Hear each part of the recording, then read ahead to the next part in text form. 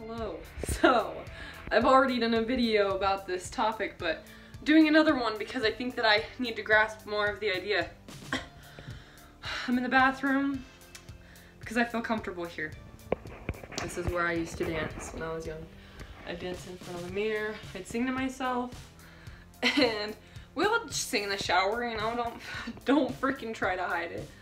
Okay, so when I was younger, I had low self-esteem and I hacked someone's Facebook. Don't do it. Obviously, if you, yeah, you wouldn't do that because you uh, people to know how it, it feels to be who you are. and I was trying to be someone else. I want, I wanted their, their confidence. I think I liked them. They were pretty. Um, I thought they were prettier than I am. And now that I got a sense of self, I realized I didn't need to do that. Um, I think that's why I was trying to just be them. And I, am having deja vu. I think I made a video about this in another life or something. I don't know. Think what you want.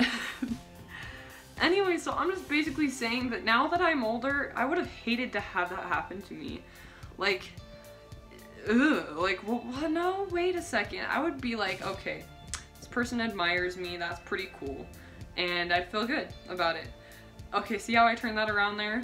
I don't know how I did it, but I did because I didn't want to feel bad about it. Because I've done it. I've moved on. But I just wanted to use that as like an example of like how far I've come in my life from feeling like that as okay, I was a third grader. Let's that was one of the points there, but it's okay. When you're young, you do stupid things and then you know what? That's how you learn how to love yourself. And I didn't love myself at the time or I wouldn't have done something like that. The whole point about this is love who you are. Your true self is what makes you unique and when you try to be like other people or you see something you like in someone else, that's a good thing to notice. Like, okay, what do I like about this person? Well, they're very, very grand. They're very confident with themselves. They know whatever they say. They don't care about it. They brush things off their shoulder real easy when they mess up. That's how I used to not be. So I would look up to people like that and I'd sort of envy them. And I think that girl is one of those ones I thought, you know, I looked up to her like that. And then eventually I ended up doing cheerleading with her and it was so embarrassing just because I had to live with that and like live in the same town and school and go with that and like walk around in those like, you know, sort of when, I don't know, they were girls who did cheer. They were very into the, into them, their health and whatnot. And I was not very much. I was a couch potato. And I played video games and I just, I would basically do all that stuff that people who, you know, I mean, I'm not saying that if you do play video games and stuff like that, you're not cool, but that's what I thought was cool, was like the girls and stuff who were in cheer and things like that. And, and then eventually I tried doing it because I like gymnastics, but it wasn't who I was. I like, maybe I'm more of like a personal yoga type person, like stretches and stuff. anyway, yeah, I just wanted to get that out there that no one can be a better you than you. And I know that that is the most unoriginal quote ever, but it is so underappreciated. Like, you know, just embrace your uniqueness, your eunice. eunice, that's a funny word.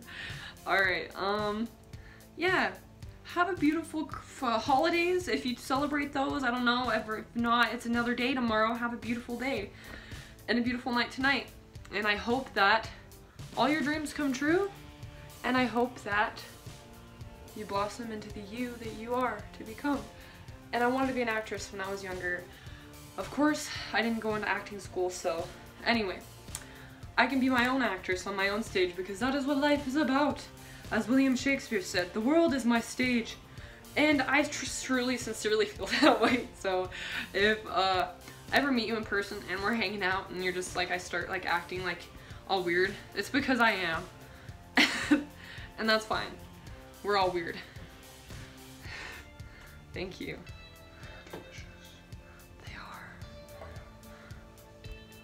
Anyway, tastes like marshmallow. Have a lovely day, evening, uh, afternoon, and I don't care what you say about this video because guess what? Criticism makes me stronger. Love you all. Goodbye. Bye. Good night.